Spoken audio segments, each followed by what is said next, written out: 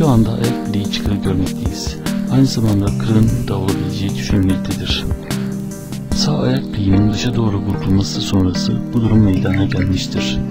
Dolaşım muayenesinde nabızları anlamamakta, görsel olarak ekstremitinin sıyana görünmesi dolaşım probleminde olabileceğini göstermektedir. Tüm çık vakalarında olduğu gibi acilen redüksiyon yapılması gerekmektedir. Öncelikle dolaşım ve sinir muayenesi ile ilgili bulguları ayrıntılı olarak not edilmesi gerekmektedir.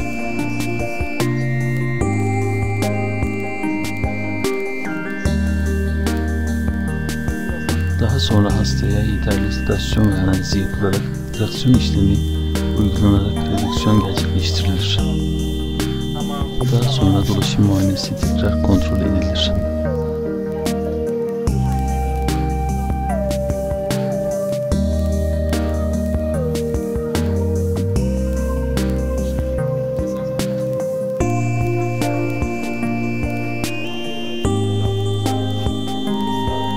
Redüksiyon sonrası hastanın grafikleri çekilir.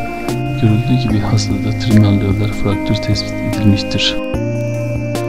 Ortopedi konsültasyon istenir gerekli ameliyat hazırlıkları yapılmalıdır.